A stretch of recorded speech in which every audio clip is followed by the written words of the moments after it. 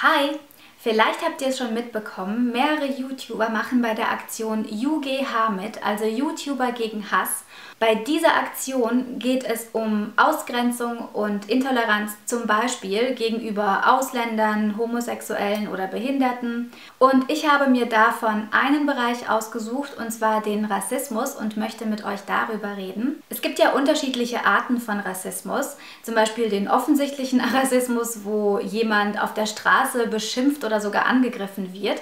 Und dann gibt es noch den eher subtilen Rassismus, den man eigentlich nur eher mitbekommt, wenn man, ähm, ja, wenn man selbst betroffen ist.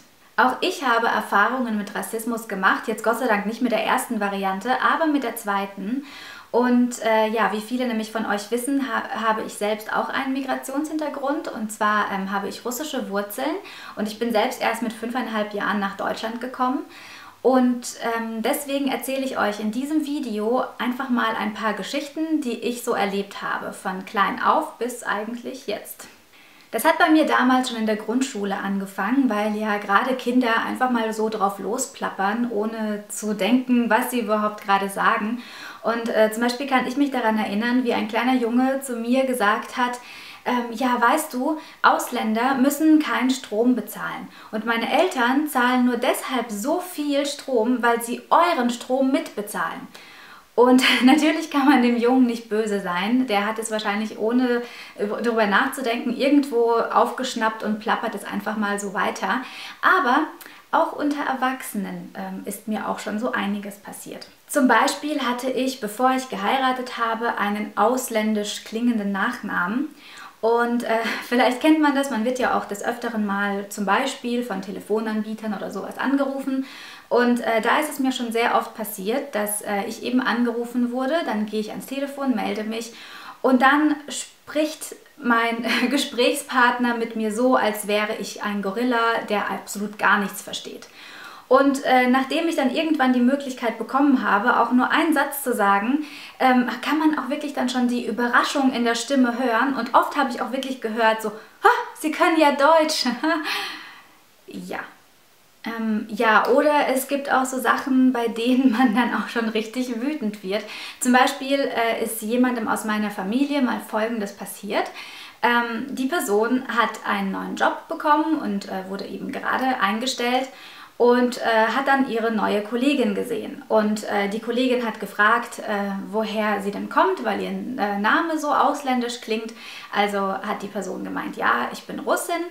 Und daraufhin meinte die Kollegin, oh, also mein Mann kommt ja selbst von da, aber eins sage ich dir, also ich hasse Leute aus dem Ostblock. Eine weitere unmögliche Sache ist, wenn dein Gegenüber oder wenn generell Leute mit einem richtig überheblich oder halt auch so, so herablassend sprechen, nur wenn derjenige eben mit einem Akzent spricht. Äh, zum Beispiel habe ich da auch ein Beispiel. Meine äh, Mama, die spricht sehr gut Deutsch, allerdings hat sie eben einen Akzent. Und äh, das heißt aber nicht, dass sie Satzbau oder Wörter irgendwie nicht beherrscht. Also das kann sie alles super. Sie hat halt eben einen Akzent.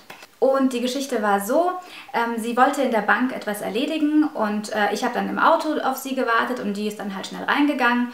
Und äh, dann war es halt einfach so, dass die Mitarbeiterin ständig gesagt hat, hä, ich verstehe sie nicht. Was wollen sie jetzt von mir? Also, nee, also tut mir leid, ich weiß gar nicht, was sie von mir wollen. Nee, also, tut mir leid, ich verstehe einfach nicht, was sie von mir wollen. Und meine Mutter ist dann total aufgelöst und auch richtig wütend wieder zurück ins Auto und wollte dann auch schon nach Hause fahren. Und dann habe ich gesagt, weißt du was? Die Frau ist doch bestimmt noch am Schalter. Ich gehe da hin und äh, ja, ich, ich gehe auch zu ihr und äh, ich schaue mal. Vielleicht ist sie auch einfach nur doof. Und äh, ja, also bin ich an den Schalter und äh, habe genau das Gleiche gesagt. Also wirklich, die Wortwahl war identisch. Und siehe da, ich habe problemlos alles bekommen. Ich wurde sehr freundlich bedient. Ich habe sogar ein Lächeln bekommen.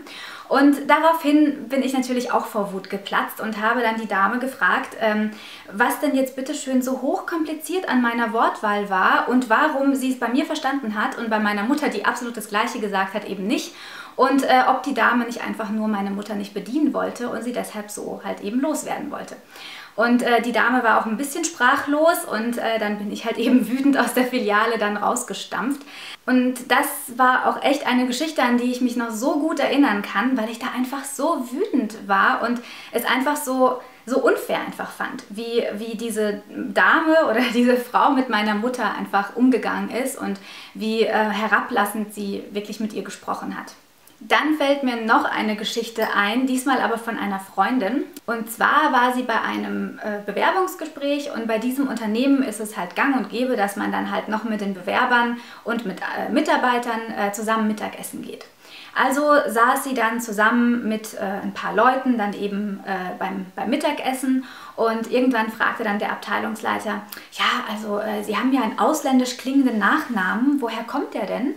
Und dann sagt meine Freundin, ja, äh, ist aus dem Griechischen. Und dann sagt der Abteilungsleiter, ah, ähm, ha, dann hat ja bestimmt jemand aus ihrer Familie oder aus ihrem Bekanntenkreis ein Restaurant, oder? Und äh, sie dann, äh, nein. Ein Busunternehmen vielleicht? Sie, nein, auch das nicht.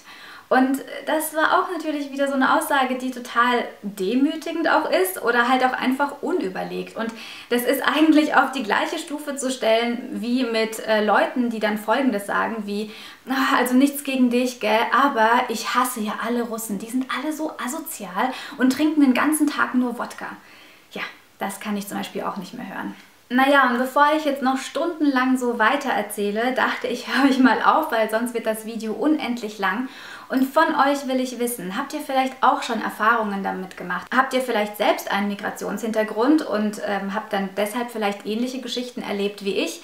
Oder habt ihr das generell aus eurem Umfeld mal mitbekommen? Und postet das bitte in die Kommentare. Ihr könnt eure Geschichten auch auf Twitter und über, auch auf Facebook äh, posten, einfach mit dem Hashtag UGH. Die Playlist zu dieser Aktion habe ich euch in der Infobox verlinkt. Es haben wirklich sehr viele verschiedene YouTuber mitgemacht und es sind wirklich super Videos Videos, schaut sie euch alle an. Und äh, ja, dann bin ich mal gespannt auf eure Geschichten, auf eure Erfahrungen. Ähm, diskutiert und teilt sie mit uns auf allen Plattformen und äh, nicht vergessen unter dem Hashtag ähm, UGH. Und dann sehen wir uns sehr bald. Ciao!